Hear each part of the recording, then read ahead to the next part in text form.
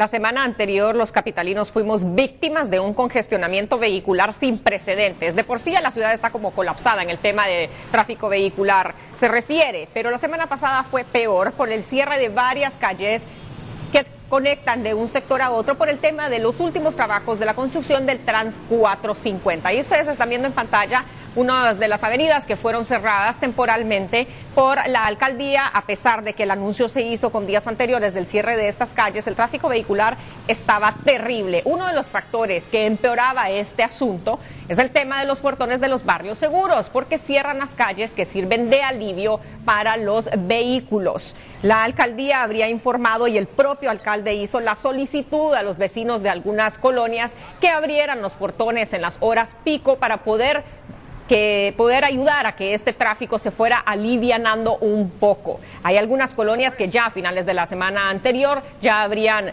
voluntariamente aceptado esta solicitud y habrían abierto sus portones. Tal es el caso de la Tres Caminos y la Luis Landa. Escuchemos a Aníbal Erler, el gerente de movilidad urbana de la alcaldía, hablándonos sobre este tema y anunciando otras calles que serán cerradas esta semana en la colonia Tres Caminos, en la colonia Payaquín, en la colonia Luis Landa, ya han procedido los vecinos amablemente a hacernos las aperturas en los portones de Barma Segura. ¿En qué horarios?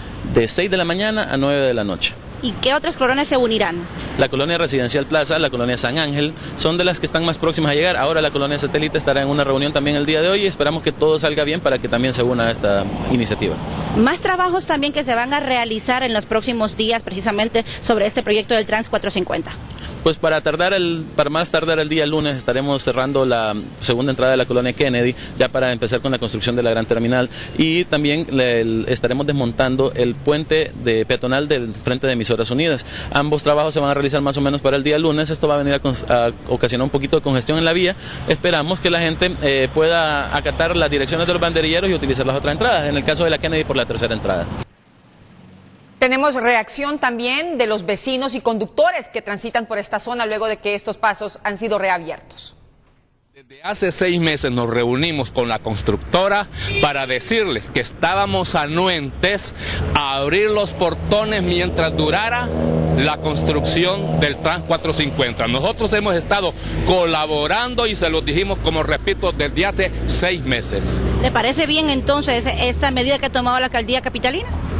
Sí, me parece bien, incluso como le repito, nosotros de nuestra propia voluntad decidimos abrir los portones para colaborar con el TAN 450 porque a nosotros como vecinos nos va a favorecer también.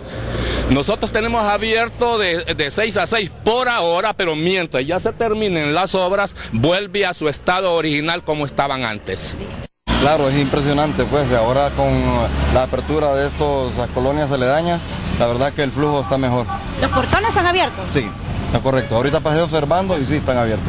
Y también este tránsito que se ubica de Colonia Tres Caminos hacia la esquina de Dios.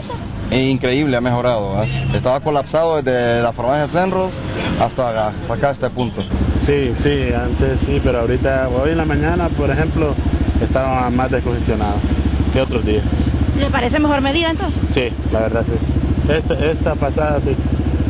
Y a partir de la próxima semana se, empezará a desinstalar el puente que se ubica por emisoras unidas. Eso causará un poquito más de tráfico. Sí, también. De cómo la gente ahora se va a cruzar y ya no va a haber el puente, va a ocasionar más tráfico. Sí.